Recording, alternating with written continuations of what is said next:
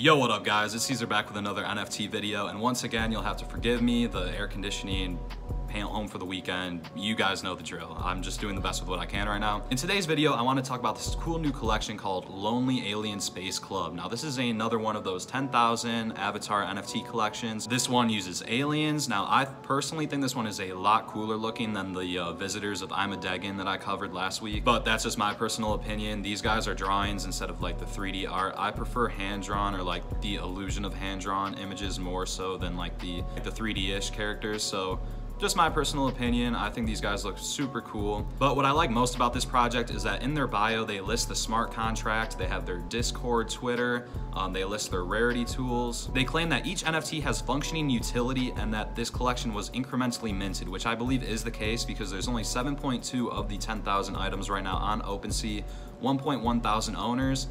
Not great, but not bad by any means. A floor price of 0.04, so it's still early. You could definitely get into these guys and only 63 ETH traded. Still a lot, but with a low floor like that, only about $80 to get in. I wanted to highlight this project for you guys really quickly. Personally, I won't be investing in it. I need, you know, like I said, guys, I only invest in projects that I'm 100%, you know, all in on. Not that I'm not there with this project yet, but I definitely need to do some more research. I just wanted to get a video out there quickly because this just hopped up on the OpenSea top um, rankings today. I just wanted to highlight this because it was moving up on the OpenSea rankings today. It was around 70th. I had never seen it ranked there before, so definitely a project that's gaining momentum and I wanted to just get that information out there for you guys.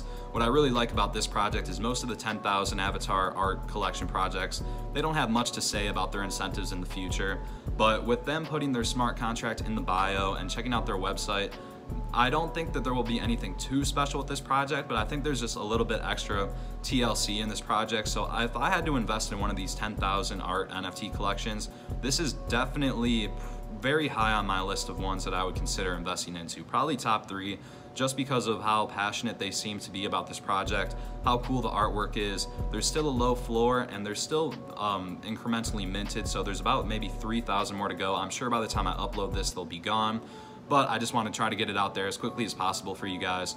So let me know what you guys think about these aliens. Do you like them better than the Imma Degen? Do you think that a Degen's a better value because of all the metaverse decentralized content that comes with them?